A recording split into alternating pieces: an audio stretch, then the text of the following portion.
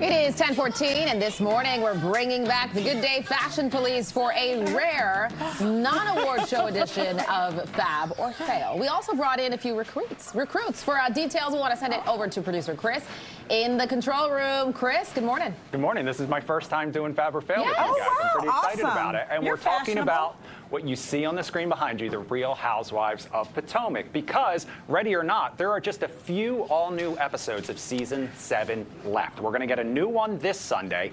Then we have at least one more the first weekend of February. Then it's the all important season seven reunion. And while we don't know exactly when that will air yet, we are getting a sneak peek thanks to Bravo Insider. Yesterday, we got our first look at the looks they served when they regrouped and sat down with Andy Cohen because we all know when these women bring the drama, they do it in style. All of them decked out in head to toe matching blue. E Online says they took their inspiration from their group trip to Mexico, channeling their inner tropical birds, guys. So oh. grab your signs Okay. because we're going to launch right into it and we're going to start off a local edition of Fab or Fail with Gizelle, okay? So take a look at the picture. This dress is by Albina Dyla, okay? So what do we think of the first one?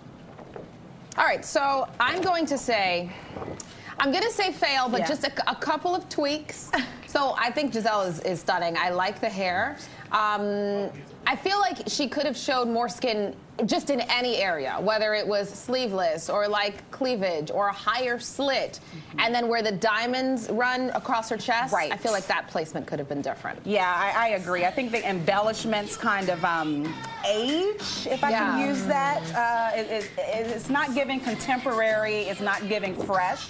And I think she's so beautiful, and she deserved more. And I think she would have gotten more with less. Ah, less yeah. fabric. I I'll think would have raised the bar. Only reason I said Fab, now that I know what they were going for, Tropical Bird, she nailed the assignment. I don't necessarily love the dress, and in any other event, I would say she could do way better, but I think for the assignment, she kind of had her own thing going. Okay. Okay. All right, so two versus one. All right, next up, we're talking about our friend, Good Day and Fox 5 Lion Lunch Hour contributor, Ashley Darby. You see her look right there? No word on who did her dress yet, guys, but you know we'll ask her the next time she's on the show. Whew. Fab, and not because she's a friend of Fox 5. I think it's back to clear.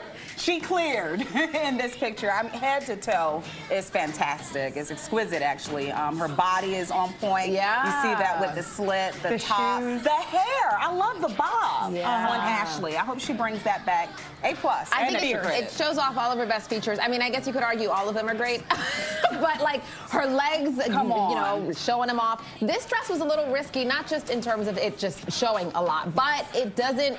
You just got to wear it the right way, That's a good point. Uh, but it just, gosh, it it lays so beautifully. I love it. It shows me that she just is naturally stunning because look at that waistline. Yeah, it's very I mean, pretty. What incredible. waistline? That's what I'm saying. Like, exactly, Yeah, exactly. I'll see it. All right, three fabs and the complete opposite from who we saw before. Next up, we've got Candiace. She is wearing Karen Sabag, if I'm pronouncing that correctly. What do you guys think?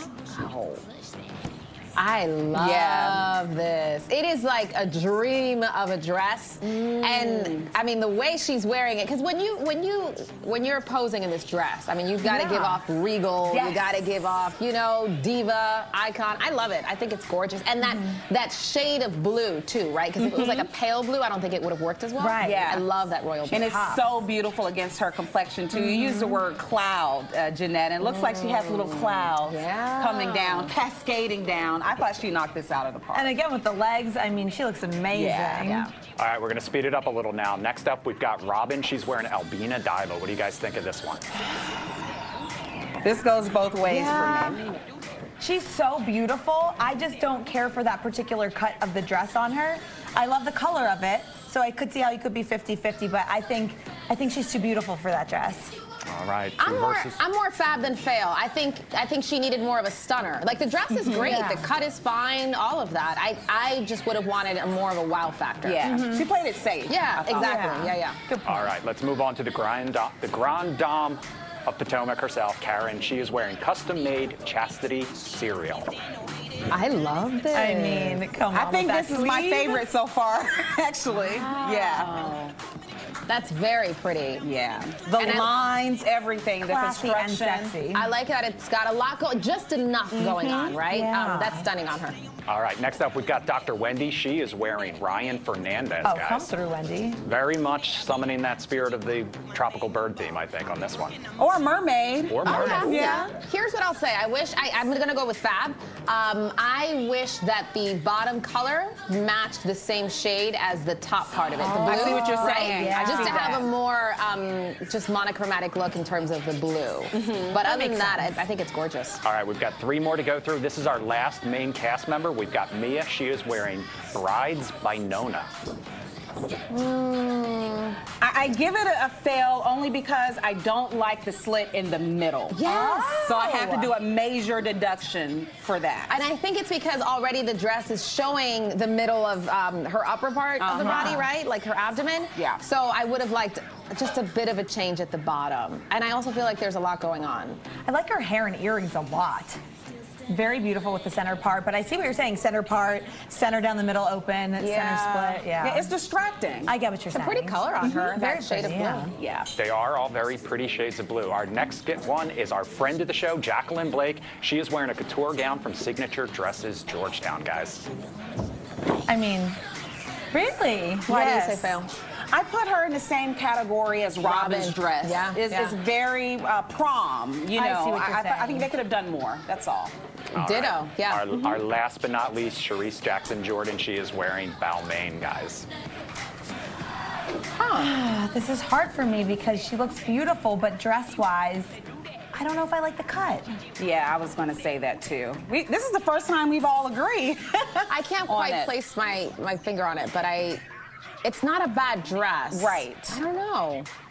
It's not really giving me, not giving me much. I think, I mean, I think her hair looks great, her makeup Yeah. looks great, looks all of that. beautiful, yeah.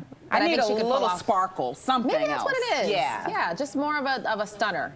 A little something go. extra. But, okay, I'm looking forward to the reunion. I mean, Me too. Talk about fire. Um, that, that'll be a good one. They never Yes. disappoint. That's why they're in blue to cool it down. They- yeah, Exactly. for all the bombshells. So